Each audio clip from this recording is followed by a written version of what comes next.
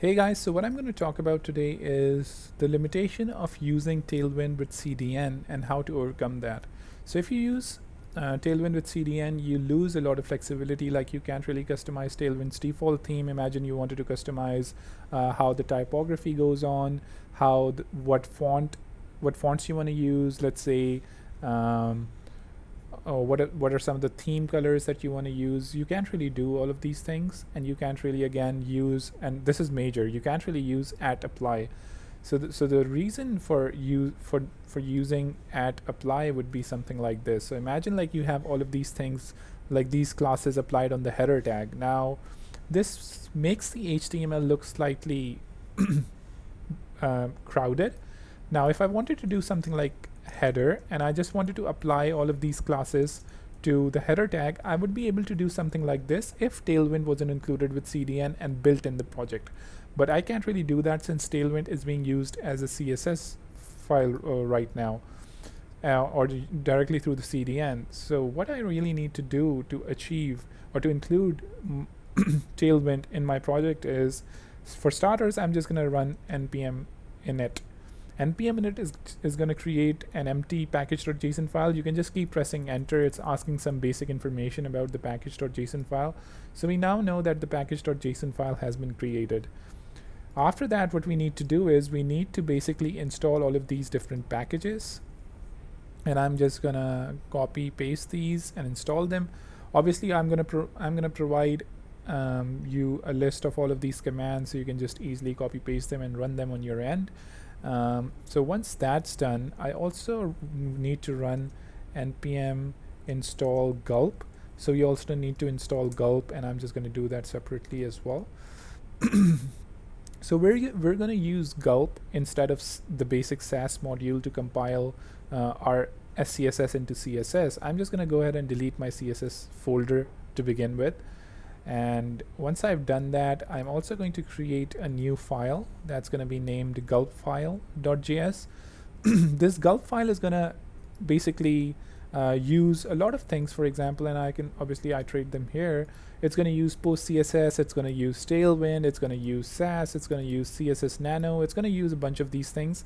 And what it's going to do is it's going to actually and let me just remove this So what it's going to do is it's actually going to uh, process our SCSS file using all of these processors and then it's going to generate our CSS file. So let's just do a gulp watch and once I do that it should automatically be watching our SCSS file. Any changes I make here I'm going to save them and then that's the CSS file is automatically generated and you can see it's it's compiled in a really minified uh, fashion so that's all great and for example, if I was to apply, let's say a border radius, I'm, i can say border radius 50 pixels. If I do that, you can see, okay, that's finished. And the border radius has been applied here.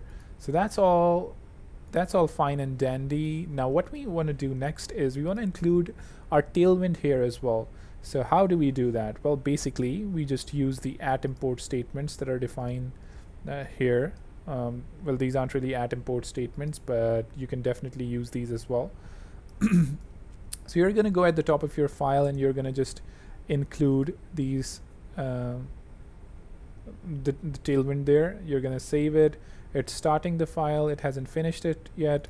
As you can see I still see only the only the basic CSS I don't really see um, some of my some of the tailwind but now since it has compiled it it's finished it I can see all of the tailwind CSS being generated in my CSS file. So what I can do now is I can easily just remove this tailwind CDN I can save and then I can go to my own page.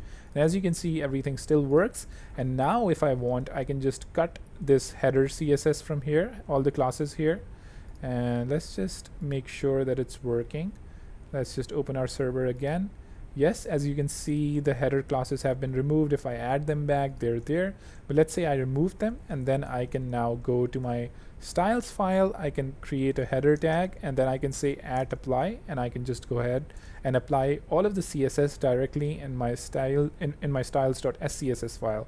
And once it saves it's going to automatically update the CSS file and I'm going to have the code visible here So it takes some time at times to actually build the build the files, but it should hopefully be done soon and now it's done as and you can see it's respecting some of the things that I have. So what I would suggest is when you're actually trying to figure out what styles to apply, do whatever, what you can do is you can actually go ahead and apply all of the classes directly to your HTML. You can figure out what classes you want, what Tailwind classes you want, and then cut them and then paste them directly in your SCSS file if you want. This is a this isn't a necessity, but it's just a really easy way to keep your HTML simplified, not really have a lot of those things. And then obviously it's very easy to manage as well. You can directly go into your SCSS file. You can apply some uh, some specific CSS. For example, if I wanted to apply a border radius of five pixels, I don't think five pixels or let's say nine pixels is available in uh, Tailwind. So now I can easily just do that, combining some of the Tailwind styles that I have in my SCSS file. Otherwise, imagine you had to write here some of the classes in HTML and then you had to make updates in the SCSS file. So obviously that would be a slight disconnect. But yeah, this should pretty much work for you guys. It should be pretty straightforward. And if there are any issues that uh, you encounter while doing all of these things, then definitely do hit me up in the comments and I'll uh, try my best to reply. So yeah, that's pretty much it.